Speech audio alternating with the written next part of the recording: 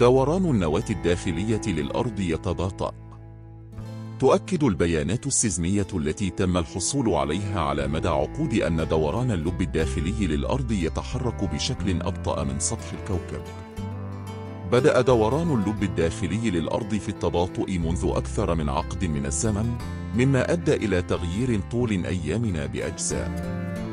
من الثانية أنشأ باحثون من جامعة جنوب كاليفورنيا USC تصورات لحركة النواة الداخلية باستخدام البيانات الزلزالية. المسجلة من الزلازل المختلفة والاختبارات النووية وكلاهما يرسل اهتزازات عبر الكوكب. ومن خلال قياس سرعة وتفاعل الموجات الزلزالية داخل طبقات الأرض يستطيع الباحثون تقدير موقع وحركة اللب الداخلي. وتؤكد الدراسة أنه منذ عام 2010 تقريبا كان اللب الداخلي للأرض يتباطأ أو يتراجع مقارنة بسرعته في العقود السابقة كما أنه يتحرك بشكل أبطأ من سطح الأرض وفقا لبيان صادر عن جامعة جنوب كاليفورنيا. وقال جون فيدال المؤلف المشارك للدراسة وأستاذ علوم الأرض في جامعة جنوب كاليفورنيا في البيان تباطأ. اللب الداخلي للمرة الأولى منذ عدة عقود.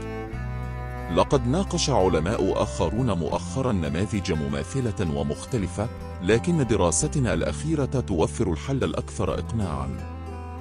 اللب الداخلي للأرض عبارة عن كرة ساخنة وكثيفة وصلبة مصنوعة من الحديد والنيكل وتقع على عمق 3200 ميلاً 5150 كيلومترا تحت أقدامنا.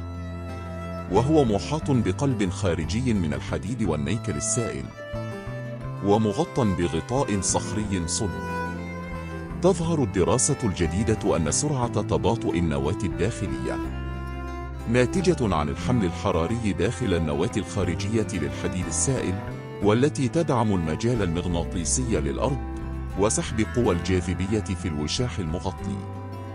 وقام الباحثون بتحليل البيانات الزلزالية المسجلة خلال 121 زلزالا متكررا حدثت حول جزر ساندويتش الجنوبية في جنوب المحيط الأطلسي بين عامي 1991 و 2023 بالإضافة إلى بيانات من العديد من التجارب النووية حول العالم للوصول إلى استنتاجاتهم.